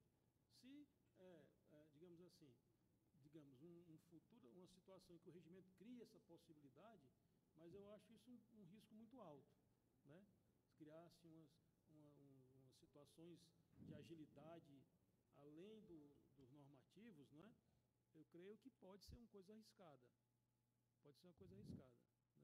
Ah, eu não estou vendo outra maneira de fazer que não seja essa. Por isso que eu estou assinalando a importância da gente deixar isso bem claro, porque isso, na verdade, vai tirar um pouco da agilidade necessária para dar um retorno de uma ofensa que foi feita. Eu passaria para o. Ah, bom, eu não sei, ah, voltou o Anderson aqui para para só- encaminhar. Só, só, só uma questão que eu estou aventando. A não ser que essa, esta, esse normativo ele estabelecesse uma prerrogativa do presidente. Né? Não sei se existe essa prerrogativa ao presidente do CAL, levando o seguinte princípio, que externa a opinião do Conselho é o presidente. Né? A, a, a, a opinião externa, a opinião que o Conselho emite externamente às suas, às suas instâncias, quem fala pelo Conselho externamente é o presidente. Se se estabelecer essa possibilidade do presidente Mas o presidente vai analisar as, as questões comprobatórias, é, ele que vai definir se está ofendendo a arquitetura, se está ofendendo o arquiteto. Não é possível. Não, é não possível, tem como. Tem razão. Então, por isso que tem que ser assim mesmo, não é? é. Mas então, uh, uh, eu acho que foi feito uma, um pedido de alteração lá, Anderson, do texto, uma sugestão de alteração. Tem que ver se está de acordo para ver se a comissão entende que é ok e ir adiante, né? A comissão é, tem alguma outra proposta de substitutivo desse texto? A comissão acata o substitutivo? O presidente pode fazer a leitura? A representação, depois de protocolada, será encaminhada ao presidente do CalBR ou do CalUF, que designará um conselheiro relator para analisar o processo e será encaminhada ao respectivo plenário para apreciação e deliberação Ponto. Tá certo. certo. Acho que é isso mesmo, né? É, re, regimentalmente, nós temos duas possibilidades de encaminhamento de, de, de, assuntos ao plenário. Né? Qualquer assunto que entra ao conselho, ele é levado à comissão, para que a comissão de então do assunto analise e venha plenário a partir de uma deliberação de comissão, ou quando o assunto é fruto de um pedido de reconsideração, e aí sim o presidente encaminha o, o, o processo a um conselheiro relator. É, todas as duas hipóteses sempre tem um relato é, é, feito por um conselheiro, no caso da primeira, além disso, uma deliberação feita por vários, para que o, o, o plenário é, aprecie e delibere. No caso aqui em tela, o que nós estamos admitindo é que um outro assunto, um assunto desse conselho, seja feito o mesmo procedimento de um pedido de reconsideração e não passe por a comissão do mérito do assunto a análise Exatamente. para vir ao plenário. É isso mesmo? É o que nós estamos propondo aqui. É uma exceção à nossa regra, mas não é um problema, até porque no regimento atual não consta pedido de desagravo. E no regimento novo, a gente já está colocando essa possibilidade, mas nós dependemos do que for decidido nessa deliberação para poder voltar ao regimento e, então, regulamentar. É, eu só levanto uma, uma, essa questão porque nós no meu entendimento, a gente pode estar correndo o risco de extrapolar o regimento atual aprovado. Né? Extrapolar. É, o assunto, efetivamente, ele não, não tem, não tem é, normativo né, que o discipline, efetivamente. É, no meu modo de entender, correto estaria, sem nenhuma, sem nenhuma, nenhuma é, sem ferir nenhuma situação do nosso regimento, se este assunto não fosse designado pelo presidente e fosse levado à comissão do mérito e trazido ao plenário como qualquer outro assunto. Apesar do assunto não estar regimentalmente estabelecido, mas é um assunto do Conselho, e este assunto do Conselho, no meu entendimento, se refere ao assunto da Comissão de Ética. Era só isso que eu gostaria de ponderar com os senhores. Só uma observação. Se a gente levar esse assunto para a ética, a gente está partindo do pressuposto já que pode haver um indício de ética. E eu acho que não seria a comissão de ética analisar isso daí. Ou seja, não é à toa que esse assunto não está entrando por comissão. Agora, também é fato que esse assunto não está previsto em regimento nenhum, nem do CalBR, nem nenhum. Tá? Ou seja, na verdade, nós estamos criando um instrumento que não existe, Eu não vejo um problema nisso, na medida em que a gente vai arrumar o regimento logo em seguida. Eu, sinceramente, não vejo um problema nisso. A gente até pode deixar o material aprovado e pensar em entrar em vigor logo que o regimento esteja aprovado. Ou seja, isso não seria um impedimento para a gente analisar o tema e debater, etc. Mas, efetivamente, nós estamos criando um artifício que é igual da reconsideração e não igual a todos os demais que a gente tem. Vejam, colegas, eu insisto novamente, esse assunto não podia ter sido tratado só com mensagem e, e, discussão por contribuição, conforme seria o normal. É muito mais grave no sentido da, do debate do que propriamente uma simples recomendação, vamos por aqui, vamos por ali. Ele é mais sério, certo? Nesse sentido apenas.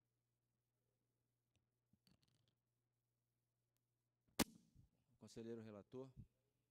É, é, assim, em relação à questão do trâmite pela comissão de ética, o problema é que a comissão de ética ela avalia denúncias sobre conduta de profissionais, né?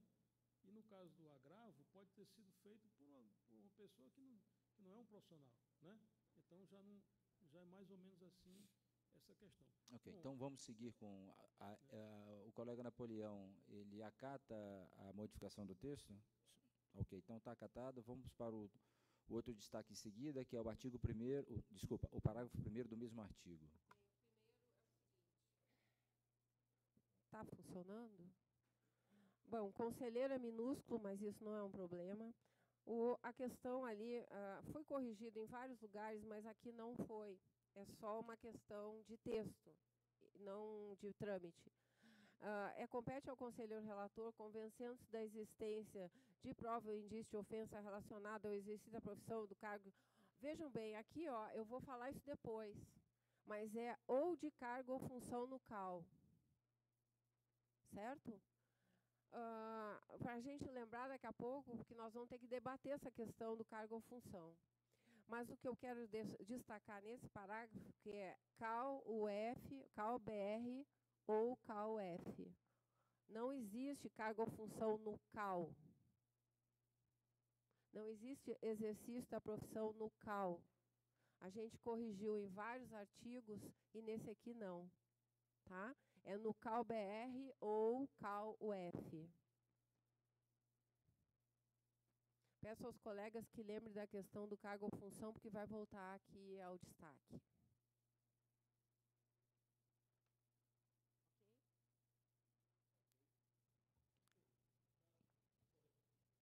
Segundo o parágrafo terceiro. Bem, o terceiro é exatamente o que eu falei agora, acabei de destacar. Então, diz assim: o conselheiro relator, conselheiro minúsculo, pode propor, em seu relatório ao plenário, o arquivamento do pedido se a ofensa for pessoal, se não estiver relacionada com o exercício profissional ou com as prerrogativas gerais do arquiteto urbanista ou ainda se configurar crítica de caráter doutrinário, político ou religioso. O que, que diz aqui? Que a gente pode arquivar o pedido a, a critério do relator, nessas condições, certo? Se não for, não, se a ofensa for pessoal, pode ser arquivado. Se não estiver relacionado ao exercício profissional, que é o mérito dessa resolução, ou com as prerrogativas gerais do arquiteto urbanista, que eu não sei quais são. Não está claro aqui quais são as prerrogativas que podem ser ofendidas. Ou se configurar ainda em crítica de caráter doutrinário, político ou religioso. Ok. Então, eu teria duas dúvidas aqui. Primeiro, quais são as prerrogativas gerais do arquiteto urbanista? Para serem motivos de uma ofensa. E a segunda, como lá no anterior a gente falou em cargo ou função, Aqui não está previsto também que dentre essas pessoas aqui, ou motivos para ofensa, seria o exercício de cargo ou função. Deveria estar tá aqui também nesse artigo, na medida em que a gente fala anteriormente sobre isso. Então, são duas questões, conselheiro Napoleão. Tá? Um é inserir o cargo e função, ou exercício de cargo e função, e entender o que, que significa prerrogativas gerais do arquiteto urbanista. E eu teria uma terceira. porque aqui a gente está dizendo também, e não está claro durante todo o texto dessa resolução, que além do fato de ofender o arquiteto urbanista, pode se extrapolar, no caso, na ofensa à arquitetura e urbanismo.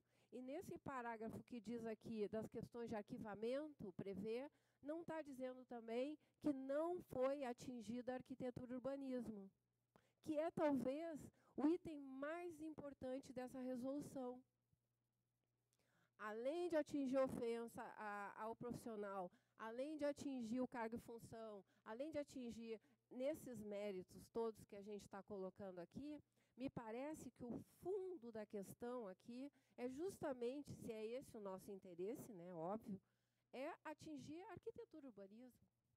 Então, eu acho que são três questões que estão aqui, se o colega puder considerar, é, no intuito de, de detalhar uma, uma situação, acaba se criando uma complicação, né? Porque, na verdade, é evidente que o conselheiro relator ele pode pedir o arquivamento, né? Não precisa estar nesse parágrafo, porque ele vai dar um parecer, né? E o parecer dele foi, foi, pode ser considerando que não foi pertinente, né? Não foi pertinente. Então, na verdade, o objetivo aqui é dizer assim, é, é, são quais são as referências que ele deve utilizar para justificar, digamos, é, a consideração de que aquilo não foi uma ofensa pertinente à arquitetura e urbanismo. Né? Aí pergunta, e quais seriam? Então as possibilidades são essas. Né? Mas aí, na medida que você vai Bota buscar. Dois, é, começa a explicar, começa então a estabelecer restrições daquilo que não foi citado. Né? E também estabelecer dúvida em relação ao que seria, é, por exemplo, as prerrogativas gerais, né? E porque aqui, por exemplo, se você trocasse a palavra exercício por atividade profissional, né? E as prerrogativas por exercício da, das atribuições gerais, ficaria mais entendido, atividade e atribuições, ou seja, quando uma ofensa é em relação a, a uma situação concreta, em relação às atribuições gerais do arquiteto, né, que é outro tipo de ofensa, ou é, que, que, são as duas possibilidades que, que, que, que tem a ver com o que nos interessa, né, que é atingir, como diz aquele, considerando arquitetura e urbanismo. Né? E aí você vem, então, ou, ou ainda se configurar uma crítica de caráter doutrinário, político ou religioso, ou até podia se colocar aqui, ou outros. então, é, eu creio que é, esse parágrafo, ele é um parágrafo explicativo, não é? A gente pode é, consertar essas questões ou pode retirar o parágrafo, sem, digamos assim, sem perda para o objetivo. Por quê? Porque no início já está se colocando qual é a finalidade, está se colocando o que caracteriza, não é? Agora, a, a posição do conselheiro relator terá que ser sempre pautada dentro dos parâmetros regimentais e legais. Me permite, conselheiro? Sim. Se a gente retirar a questão do arquivamento, isso é possível? O conselheiro relator pode determinar pelo arquivamento, óbvio. Né? Só que a gente não está dizendo, aqui pelo arquivamento a gente entende que pode ser arquivado por isso, logo pode ser admitido pelo contrário. Como a gente não está dizendo qual é o caráter da admissibilidade, nós estamos, na realidade, determinando o arquivamento e dizendo em que, em que momentos pode ser arquivado. Significa que a gente, tirando todos esses itens do arquivamento, a gente teria que citar os itens da admissibilidade. É essa a questão. Que eu entendo que está no parágrafo 1 do artigo 2 Eu entendo que, ó, vou reler. Compete ao conselheiro relator, convencendo da existência de prova ou indício de ofensa relacionada ao exercício da profissão ou de cargo ou função no qual propor ao plenário que solicite.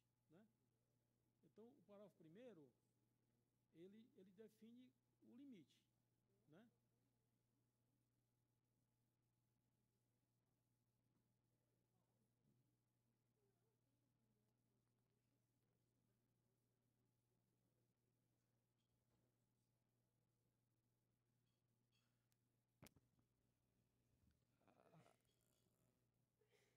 Terminou a discussão, colega? Não, sei bem se terminou. Não, não, não sei, não houve É um tem, tem outros colegas buscando a- a- o processo de discussão. Colega Wellington. Eu acho pertinente eh, ficar eh, esse parágrafo com ajustes que a, a Gilaine pediu, né, assim, solicitou, né, porque eu acho que, é, que tem que ficar mesmo eh, bem, bem visível essa questão do arquivamento, eh, do- se a ofensa for pessoal, né, tem que estar bem assim explícito isso, né, para não, não se tratar como o, o, o Janot achar, não, é, foi, é pessoal, aí pode dar, pedir, informar que essa resolução não é de caráter pessoal, é simplesmente é referente à profissão de arquitetura e urbanismo que foi ofendida. É, isso que eu, eu acho importante identificar com as modificações que, que a Ginásio sugeriu, que, que a gente pode é, organizar esse, esse parágrafo. Eu posso propor aqui um texto de ajuste. Ah, nós estamos no terceiro, né?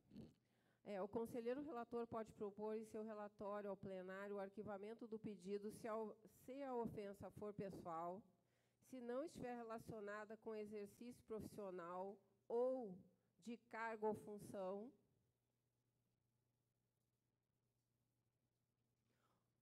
eu tiraria aquelas prerrogativas gerais do arquiteto, porque aquilo ali não está claro. Ou ainda, se configurar crítica de caráter doutrinário, político ou religioso.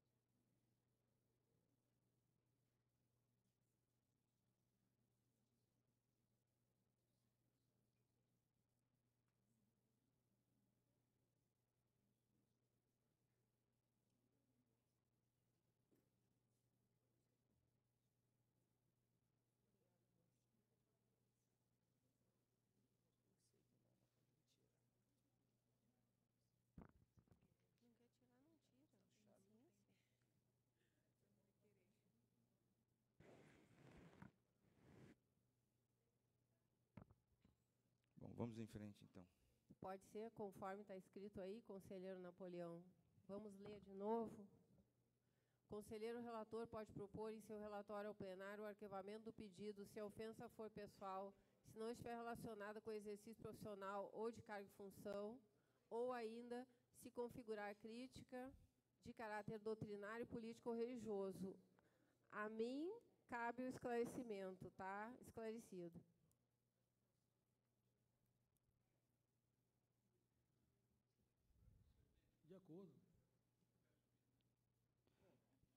Discussão encerrada. O colega Renato pede vista do processo.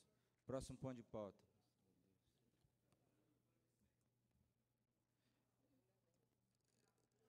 E eu me coloco à disposição para ajudar no que for necessário, porque aqui adiante tem várias questões do mesmo nível.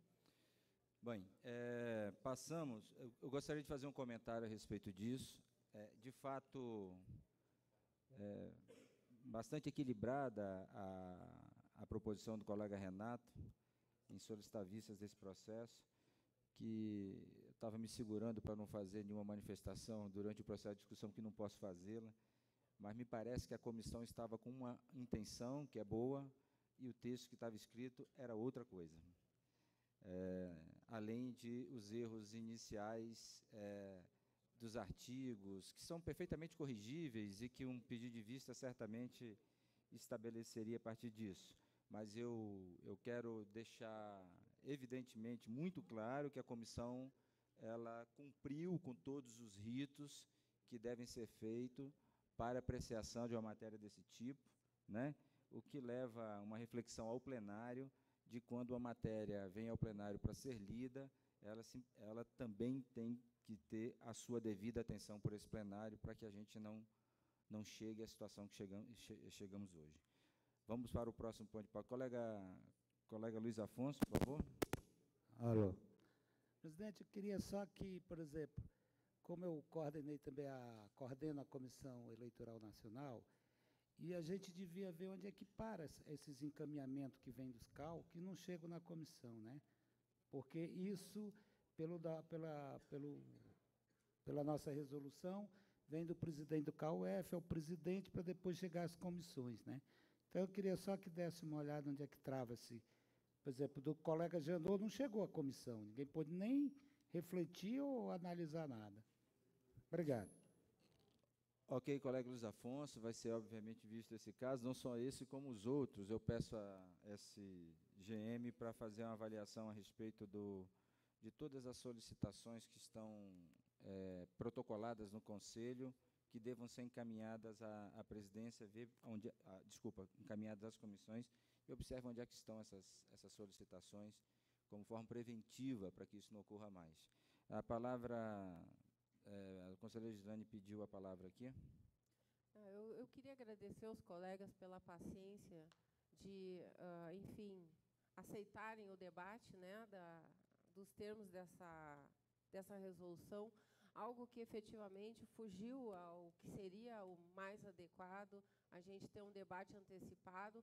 Não me orgulho disso, mas eu não tinha como deixar isso aí passar de maneira alguma, uh, em termos do que eu estava vendo ali, que me pareciam que eram questões que precisavam ser debatidas e evoluídas. Conselheiro Napoleão, agradeço muito aí a, a, o entendimento e, enfim, a evolução para que a gente possa efetivamente ter a melhor resolução possível. Obrigada, colega. Colegas, é, eu observo que o plenário está... Desculpa, colega Napoleão, por favor. É, eu queria, inclusive, agradecer, assim, digamos, a, o esforço do colega Renato Nunes, né? porque ele sabe tanto quanto eu quanto tempo nós tratamos esse assunto, né? E ele assim foi para um, um sacrifício, porque o Renato está sobrecarregado é, nessa comissão de harmonização, por exemplo, né? Enfim, e, eu queria manifestar assim em público a, a minha gratidão, assim, solidariedade ao Renato sobre esse assunto. Colegas, eu gostaria de suspender a sessão por cinco minutos para que todos possam lanchar, tendo em vista a nossa pauta leve todo, e, e a quantidade de conselheiros que já estão em pé, né, se servindo. Cinco minutinhos.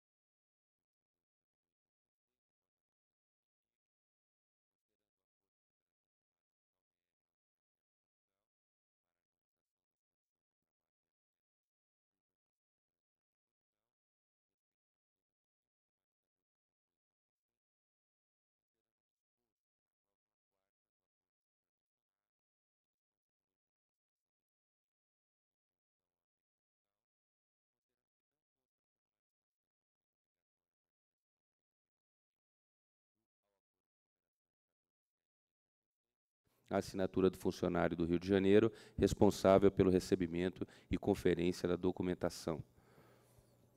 Considerando que a data de tal assinatura é necessária para o cálculo do prazo de 60 dias para a conclusão do processo previsto na cláusula terceira do acordo, considerando que após a data da assinatura do requerente no formulário de inscrição, em 19 de agosto de 2016, atestando a veracidade das informações prestadas, não foram feitas demais diligências pelo CAL Rio de Janeiro, considerando que o relatório elaborado pela Gerência Técnica do CAL Rio de Janeiro, datado de 16 de setembro de 2016, atesta o recebimento da totalidade dos documentos, considerando que o atraso de 28 dias para a conferência da documentação é de responsabilidade do CAU-RJ e não do requerente, que apresentou a totalidade da documentação exigida em 19 de agosto, considerando que o prazo para a conclusão do processo inicia em 19 de agosto e se encerra em 18 de outubro, considerando que o CAU-RJ recomenda o deferimento do registro, considerando que a pré-análise do processo descrita no parecer 61-2016 desenvolvido pela assessoria da CEF CalBR, considerando o relato do conselheiro Hélio Cavalcante da Costa Lima, que vota pelo deferimento do registro, e considerando a deliberação 135-2016 da CEF, que defere o registro do requerente, deliberou aprovar os termos da deliberação CEF CalBR 135-2016 e homologar o registro definitivo de Mário Bruno Carvalho da Rocha Leite, CPF 062 200 717 35, com o título de arquiteto urbanista e atribuições previstas no artigo 2 da Lei 12.378-2010, cuja validade deverá ser vinculada à data de expiração do seu RNE, 1 de janeiro de 2025. Uh, o processo do José Wilson Borges Soares, é, graduado na Universidade de Lusíada do Porto, Portugal, é, que foi revalidado pela Federal de Goiás, Goiânia, agora devidamente reconhecida pelo Ministério da Educação é, e analisado pela Comissão de Ensino do Cal Goiás, segue nos mesmos termos, podendo ser apreciado e aprovado, caso assim entenda o plenário, em bloco. Em discussão? Não havendo discussão, por favor, preparar para o regime de votação.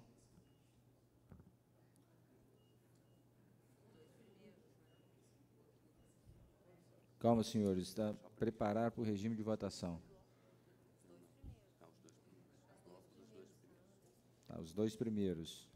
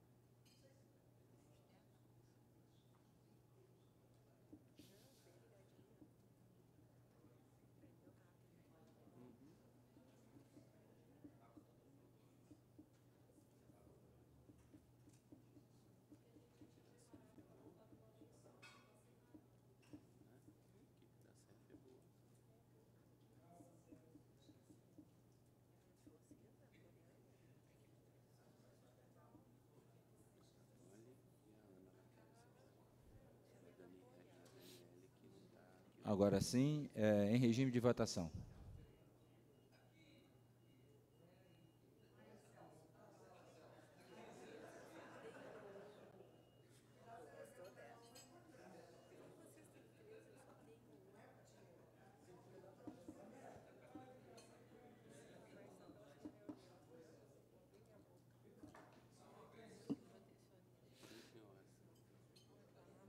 Ceará,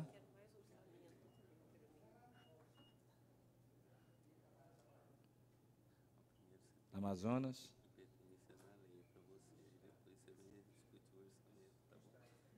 Está ausente? Resultado, por favor, encerrada a votação. Aprovado por unanimidade, com 22 votos dos presentes. O próximo, colega Ricardo. Bom, Som, tá colega Ricardo, tá. por favor. Eu sei, Ele só vai fazer o comentário a respeito da primeira votação. Tá.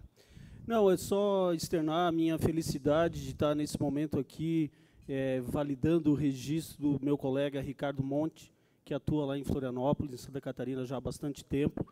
Um excelente profissional, é um exemplo para todos os colegas que lá atuam. Trouxe um conceito muito diferenciado de produzir arquitetura de qualidade com respeito à sustentabilidade. É um, é um inovador, ele não sossega frente às dificuldades, seja do contratante, seja do terreno, sempre com projetos de altíssima qualidade. Então, portanto, só queria deixar registrado aqui a minha felicidade de poder estar nesse momento aí. Obrigado. Obrigado, colega. Vamos para o segundo bloco. É isso.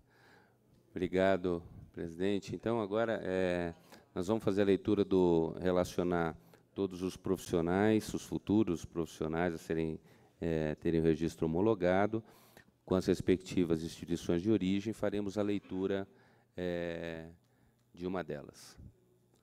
Então, requerimento de registro definitivo diplomado no exterior, cuja interessada Ruth Cristina Sanabria Dendia se diplomou pela Universidade Nacional de Assunção, no Paraguai, e teve seu diploma revalidado pela Universidade Federal de Santa Catarina. O plenário do CalBR, no exercício das competências prerrogativas que trata a seção 1, artigo 9 do Regimento Geral, reunido ordinariamente em Brasília nos dias 20 e 21 de outubro, após análise do assunto em epígrafe, considerando as resoluções CalBR 266387, que dispõe sobre o registro de arquitetos urbanistas brasileiros ou estrangeiros portadores de visto permanente, diplomados por instituições de ensino estrangeiras, nos conselhos de arquitetura e urbanismo dos estados e do DF, e dão outras providências. Considerando o artigo 7 da resolução CalBR 26, que determina que o registro concedido ao profissional estrangeiro terá validade vinculada à data de expiração do seu Registro Nacional de Estrangeiros, RNE, considerando que a requerente apresentou todos os documentos requisitados pelos normativos em vigor no ato do requerimento, considerando que o interessado demonstrou ter cursado matriz curricular equivalente à brasileira, em conformidade com as diretrizes curriculares nacionais do curso de graduação em arquitetura e urbanismo,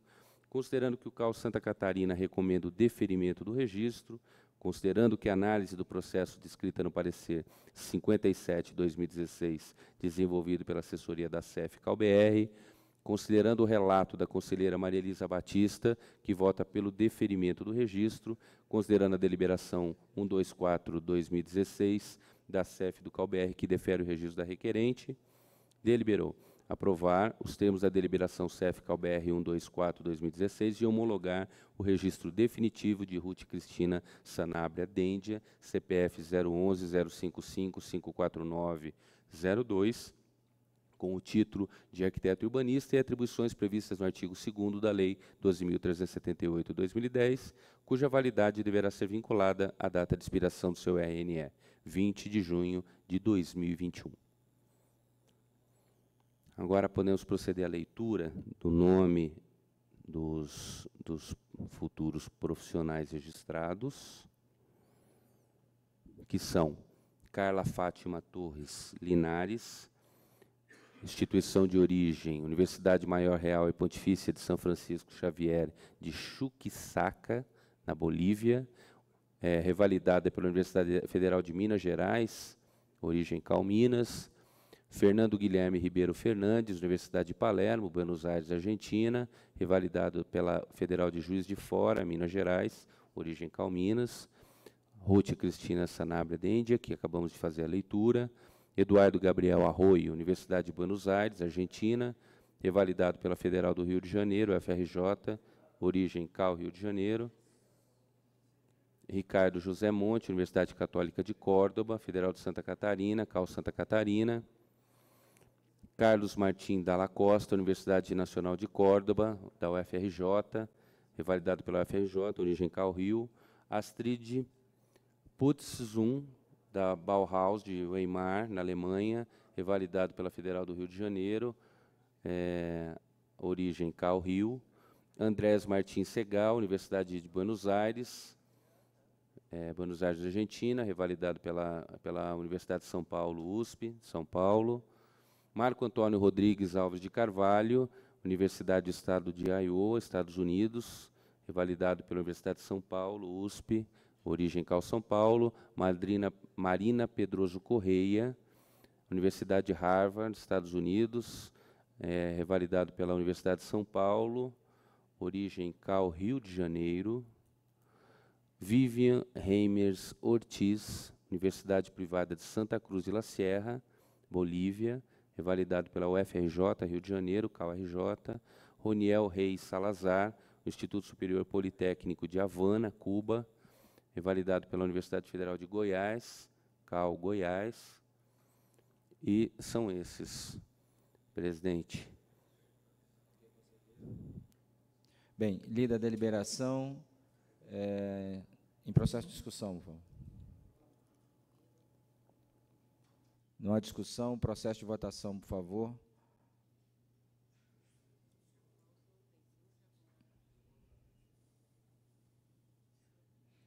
Em regime de votação.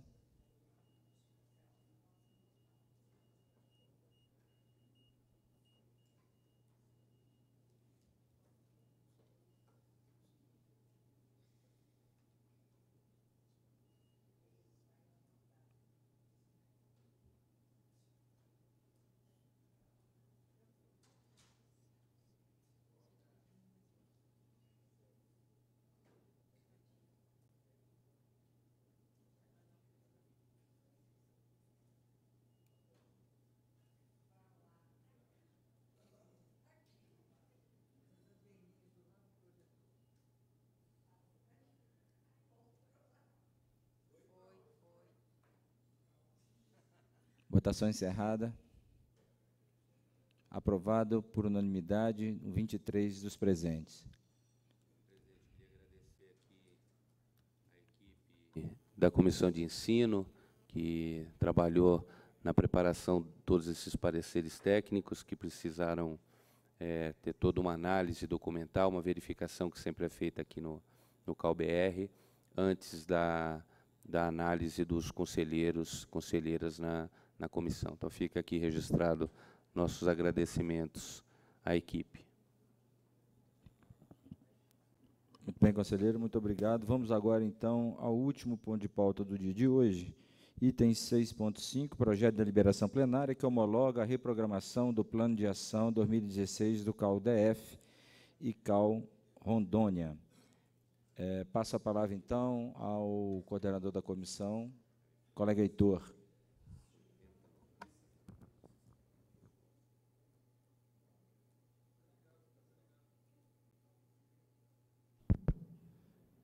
É, eu acho que antes da, do texto, seria interessante colocar é, a apresentação, os slides da apresentação. Ok, então pediria atenção quem está controlando a passagem dos slides, porque eu vou ler a partir a partir do, do texto que está em mãos escrito e aí, para poder fazer essa coordenação, tá? Bom, então, é, a comissão de Planejamento e Finanças do CalBR traz nesse momento para os senhores, avaliação, a deliberação 5316, é, a parte que foi feita a partir do relato do conselheiro Manuel de Oliveira Filho, que tratou exatamente é, da reformulação do orçamento, do plano de ação orçamento 2016 do CalDF e do Cal Rondônia. Pode passar. Bom, aqui são aquelas, é, aqueles textos que sempre constam na todas as programações que fazem parte do, no, do, nosso, do nosso planejamento estratégico, é, que são as premissas, é, a situação atual da, dessas premissas e as reprogramações específicas que vem tratar oportunamente do CalDF e do Cal Rondônia. Pode passar. Então, as premissas seriam as motivações pelas quais os conselhos fazem a reprogramação, que está delimitada através dessa, dessas é, alíneas. Na, na linha A, é, destaca o seguinte, é, a reprogramação ela é feita é, quando há necessidade de uma revisão ou adequação do plano de ação com relação a projetos e atividades. Na linha B, era quando é, essa adequação tem que ser feita, então, nos recursos estratégicos, quando há modificação em projeto ou atividades. Na linha C, ela disse que essa aprovação pode ser feita também quando há incremento de receitas de arrecadação. Então, é, se faz então uma revisão das demais receitas é, que compõem então essa reprogramação. E pode ser feita também através de incorporação de recursos de saldo de exercícios anteriores. Pode passar.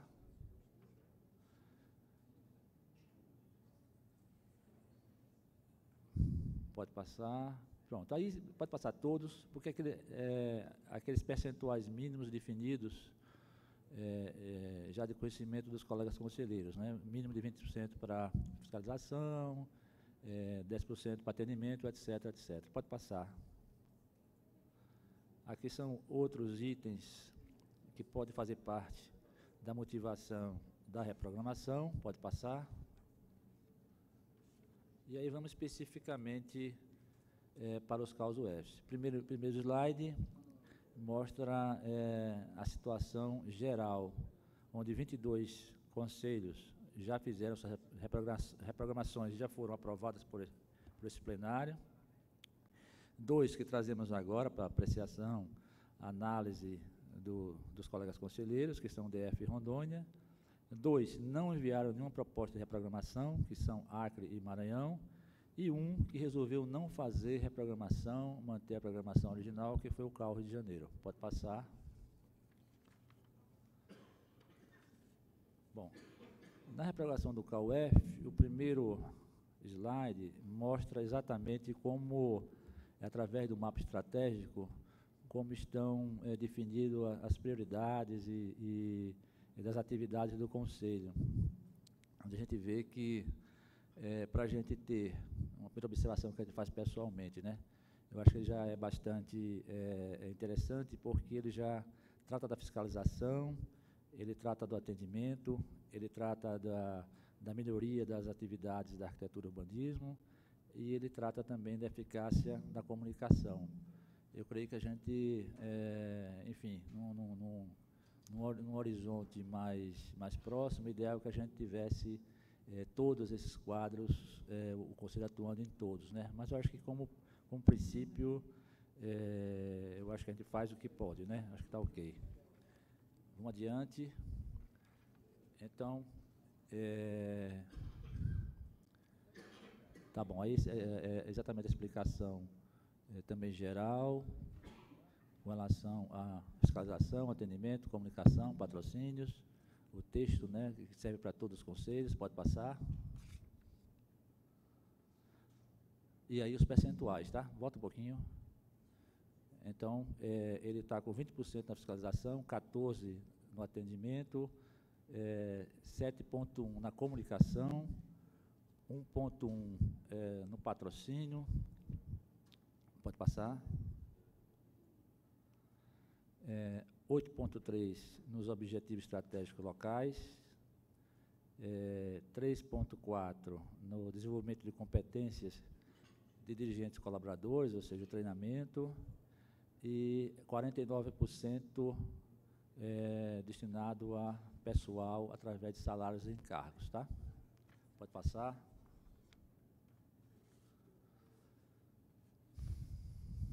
Bom, aqui é, é só destacar que nessa reprogramação ele reduziu uma atividade.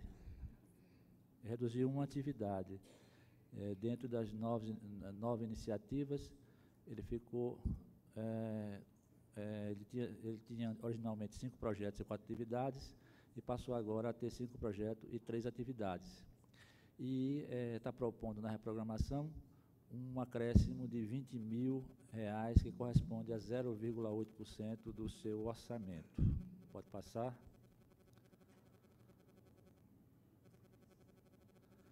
Bom, aí é, é comparativo das fontes de recursos. Eu só se faria uma, uma, uma observação é que é, o DF ele segue assim ele foge um pouco do padrão nacional onde para o nacional é, a receita de RRT ela é maior do que a anuidade. e da pessoa física. Né? E, como vocês podem ver no, no, nesse quadro de barras, o DF, pessoa física, tem é, um, um percentual de arrecadação maior do que o RRT. Pode passar. E a gente começa com o CAL Rondônia, o mapa estratégico do CAL Rondônia, onde ele destaca a fiscalização, o atendimento, a comunicação e a sua preocupação com a sustentabilidade financeira. Pode passar. Aí são os percentuais que eles, que eles estão trabalhando na reprogramação, ou seja, 21,8% para fiscalização, 47,4% para, o atendimento. É, eu creio que, à medida que a gente vai aperfeiçoando esse processo de análise, a gente vai é, orientando melhor ou fazendo um filtro é, assim, mais, mais adequado. Provavelmente, é, algumas atividades desse atendimento, é, sei, é, é, um percentual muito discrepante com relação aos demais conselhos. Talvez esteja colocando é, muita atividade no atendimento é, que poderia ser, ser, estar destinado em outras rubricas. A comunicação é 11,2%, patrocínios 2%, pode passar. Objetivo estratégico locais 13,2%, é, treinamento dos colaboradores 3,8%, é, pessoal 40,4% e eles têm é, reservado para contingência 2%. Pode passar. É, aí, é, eles, é, eles originalmente eles tinham é, 12 iniciativas, cinco projetos e sete atividades, e eles acrescentaram um projeto, e passa a ter seis projetos e sete atividades. Pode passar. Bom, não, volta um pouquinho, por favor. Esse é o quadro de, de Rondônia. Eu, o que eu tenho em mãos aqui está diferente. Eu acho que esse repetiu de DF, não? De Rondônia, de Rondônia, é, de Rondônia, por exemplo, ele tem uma situação de RRT. Mas é o que está lá? Olha a diferença de barra. Olha a diferença lá, mano. Não é não. Não, mas é, não, acho que assim. Não é não. Não é não. Rondônia é esse. Esse aí, esse aí tem aquela característica discrepante. Pessoa, pessoa física é maior do que RT. Rondônia, RT é bem maior. Não, Rondônia está aqui, está certinho esse aí no canto. Não, Rondônia está aqui, ó. Então, tá mas, esse, esse mas lá não está. É Rondônia. Sim, mas olha as barras, Filomena. As barras, Filomena. Olha as barras, as barras de RRT e pessoa física. Ah, o gráfico. O gráfico. Na hora que ficou, ficou distorcido, mas aqui no caso, Tá, a eu- posição em termos de valores está. Bom, deixa eu ler então os valores, porque o, o gráfico é que ficou distorcido.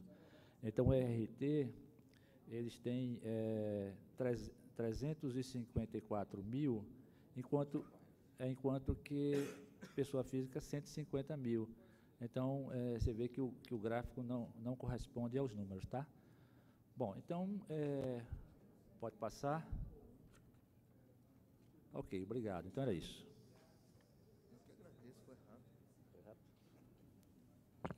Obrigado, colega Heitor. Passamos então à leitura da deliberação plenária.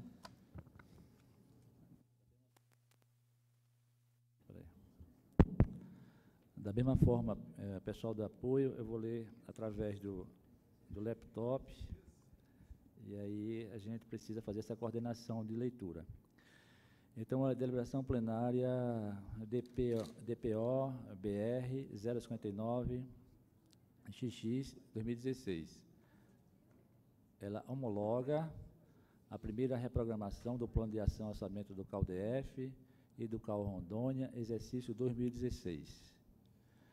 O plenário do Conselho de Arquitetura e Urbanismo do Brasil, CalBR, no exercício das competências e prerrogativas de que trata a seção 1, artigo 9 do Regimento Geral do CalBR, reunido ordinariamente em Brasília, no dia de hoje, após análise do assunto em epígrafe eh, e considerando eh, que compete ao plenário do CalBR estabelecer diretrizes orçamentárias e contábeis para, para a formulação dos orçamentos do CalUF, considerando que compete ao plenário do CalBR aprovar o plano de ação orçamento do CalBR e homologar o dos CalUF e as reformulações daqueles, daquele e destes, considerando o documento das diretrizes para elaboração da reprogramação do plano de ação orçamento do CAL, exercício 2016, e, considerando a deliberação número 53, barra 16, CPFI CalBR, a qual propõe ao plenário do CalBR a homologação da reprogramação do plano de ação orçamento do CalDF e do Cal Rondônia, deliberou. Poxa, foi demais aqui. Aprovar o projeto de resolução que homologa a primeira reprogramação do plano de ação orçamento do CalDF e do Cal Rondônia, exercício 2016, em anexo. Brasília, é, data de hoje, é, presidente do CalBR.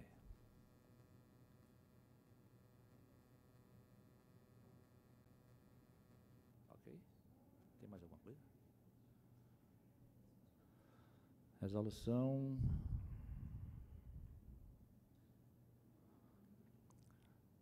é, XX de outubro de 2016, homologa a primeira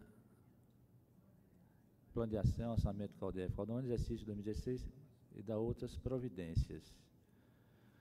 É, repite, repite esse primeiro, essa primeira introdução, que é igual do, do, do, pela leitura, é, considerando que compete ao COBE estabelecer diretrizes orçamentárias, acho que os considerandos são exatamente os mesmos, vamos pular eles para não ficar repetitivo.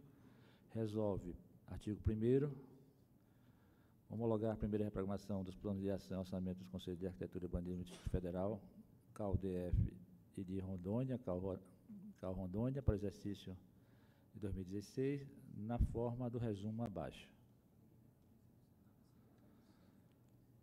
Bom, na reprogramação orçamentária 2016 do CalDF, as receitas correntes, 2 milhões 440 mil, é, a despesa corrente, mesmo valor, 2.440 mil. Receita de capital que foi incorporado, é, 20 mil reais, de capital 20 mil reais. Então, o total ele passa a ser 240 mil reais é, na reprogramação. Enquanto que o carro Rondônia, é, a receita corrente, 1 milhão 52 375 é, receita, incorpora a receita de capital no valor de 234.826 e passa, passa então na programação o seu orçamento a contar com o valor de R$ 1.287.201. Artigo 2 essa resolução entra em vigor na data de sua publicação. Brasília, data de hoje, presidente do CalBR.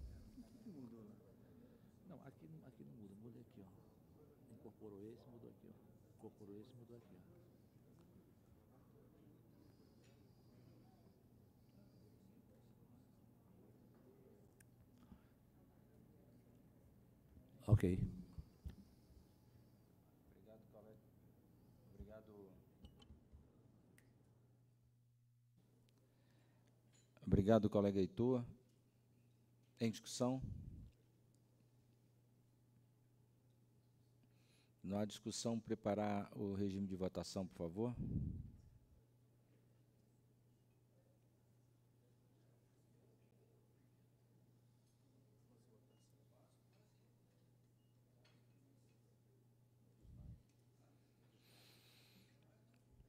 Preparado em regime de votação.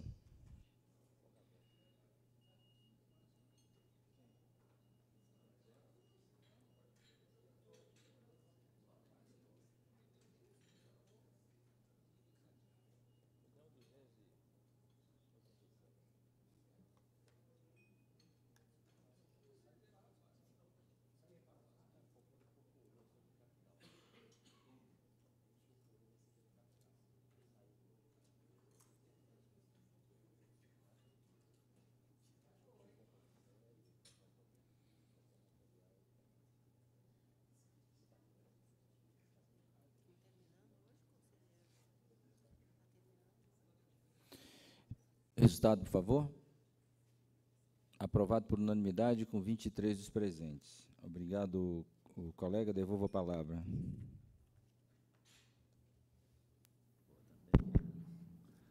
Bom, é, na verdade, é, agradecer ao, trabalho da comissão, né, comissão e da assessoria, e especialmente da nossa assessora de planejamento, né, é, é, Filomena. Ok, é isso, obrigado. Bem, colegas, é, com o encerramento desse ponto de pauta, é, encerramos a pauta que tínhamos para o dia de hoje. De maneira que, então, declaro aqui suspensa a nossa reunião plenária até o dia de amanhã, às 9 horas da manhã. Por favor. Esclarecer quais são os pontos que ficaram para amanhã? Os pontos que ficaram são o projeto de deliberação plenária que aprova as recomendações da CPFI a respeito da auditoria realizada no CAU Maranhão e o projeto de deliberação plenária que aprova a representação do CAUF no Congresso da FAPA em 23 a 27, okay. em Assunção, no Paraguai. Obrigado. Muito obrigado a todos e bom descanso.